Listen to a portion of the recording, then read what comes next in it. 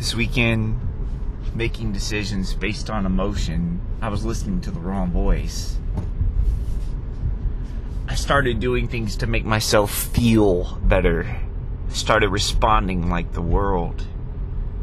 We're not the world, those of us who are of faith. We need to listen to the voice that matters, the voice of our Heavenly Father. You've heard the voice of truth tells a different story. The voice of truth says, do not be afraid. Well, there's a flip side to that. The voice of truth says, do be afraid. Do be afraid to make decisions based off of emotion. Can you hear the voice of truth as it tells you a different story? It tells you to be afraid, very afraid.